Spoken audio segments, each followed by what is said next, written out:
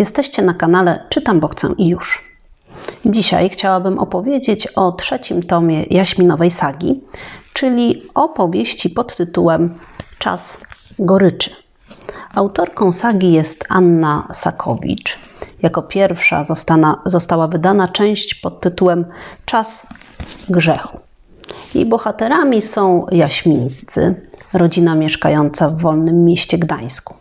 Poznajemy Katarzynę, Stasię, Julię i Piotra, czyli dzieci Antoniego i Elżbiety. Kontynuację losów tej rodziny można było poznać dzięki e, tomowi Czas Gniewu. Po drugiej części, wydanej w marcu tego roku, przyszedł czas na kolejną część Czas Goryczy. Przyznam, że na jesienną premierę tej książki czekałam z niecierpliwością, ponieważ nie mogłam doczekać się finału tej epickiej historii. Związałam się w jakimś stopniu z Jaśmińskimi, pragnęłam dowiedzieć się, co czeka kolejne pokolenie Gdańszczan z tej rodziny. Cenię sobie takie opowieści, które pozwalają na dłuższe e, poznawanie losów bohaterów. Dają szansę na zżycie się z nimi. Lubię śledzić takie historie.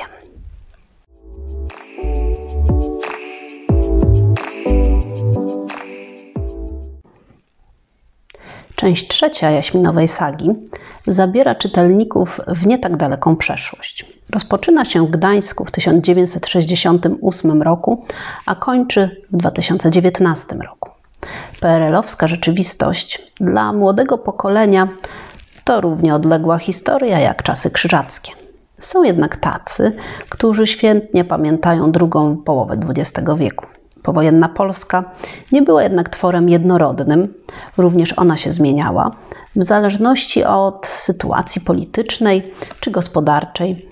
Nie zawsze miała ten sam odcień szarości, jak mogłoby się wydawać.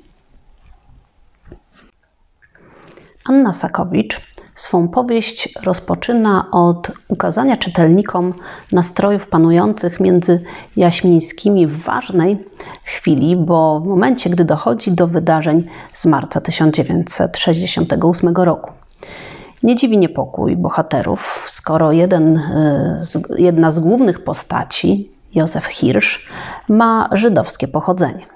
Choć sam deklaruje się, że jest ateistą, dla innych może to nie być żadnym argumentem. Wtedy właśnie ludzie, którzy przetrwali Holokaust, na własnej skórze doświadczają upokorzeń ze względu na swoje pochodzenie. W 1968 roku trudno w to uwierzyć.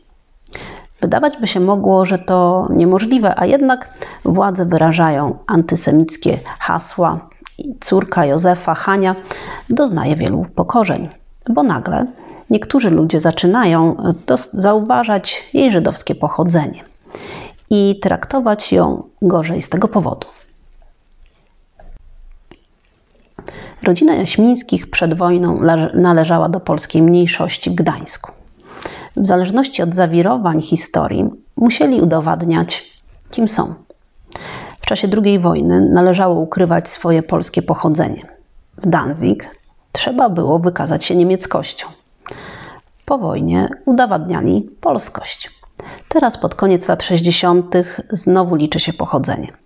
A jednak w 1968 roku będzie miało miejsce wydarzenie, które mocno odciśnie piętno na tej rodzinie dochodzi do śmiertelnego wypadku, podczas którego życie traci jedna z bohaterek. To jednak nie koniec tragedii, bo podczas wydarzeń grudniowych 1970 roku ofiarą staje się kolejny członek tej rodziny. Kiedy wyobrażam sobie dawny Gdańsk, skupiam się na miejscach zabytkowych. Natomiast podczas lektury powieści oglądałam zmieniającą się rzeczywistość i przemiany, jakie zachodzą w społeczeństwie. Czas goryczy pozwala nam lepiej poznać Gdańsk z drugiej połowy XX wieku, aż do 2019 roku, do momentu, kiedy ginie Paweł Adamowicz. Choć na początku wspomniałam Józefa Hirsza, to w powieści Anna Sakowicz opowiada przede wszystkim o kobietach z rodziny Jaśmińskich. One są najważniejsze. Dzięki nim rodzina ma szansę na przetrwanie, choć nie zabraknie kilku ważnych postaci męskich. Najpierw musimy rozstać się z protoplastą rodu, Antonim. Ale moją sympatię zdobył wspomniany wcześniej Józef Hirsch. Mężczyzna, który okazał się jednym z najciekawszych charakterów w całej trylogii.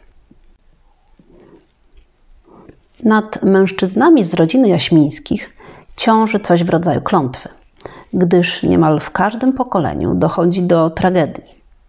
Giną wtedy 16-letni chłopcy. Czy te tragedie to ślepy los, czy może rodzaj kary za grzechy popełnione przez poprzednie pokolenia?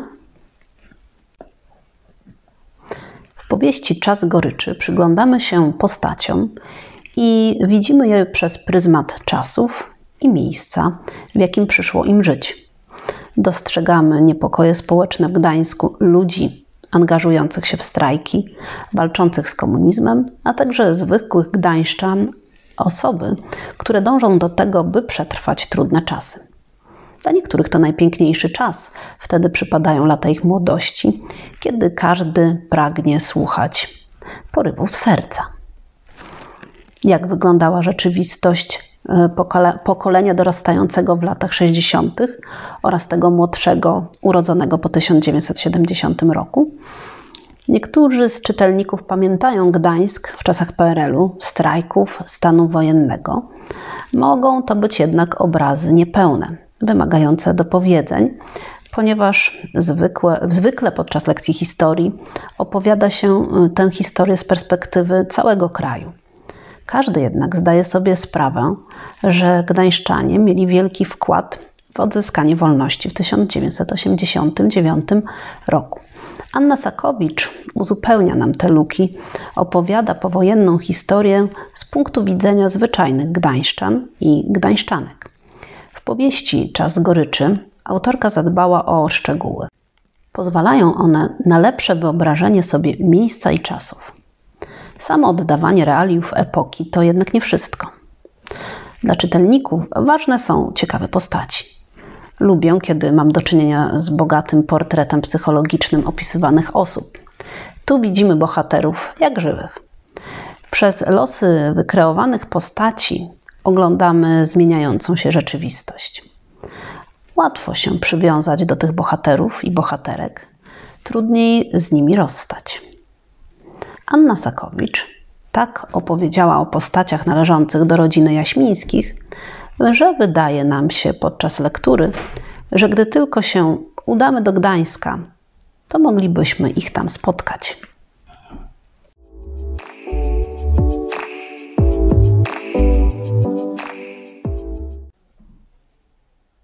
Jeśli jeszcze nie czytaliście Jaśminowej sagi, to zachęcam do sięgnięcia po całą trylogię.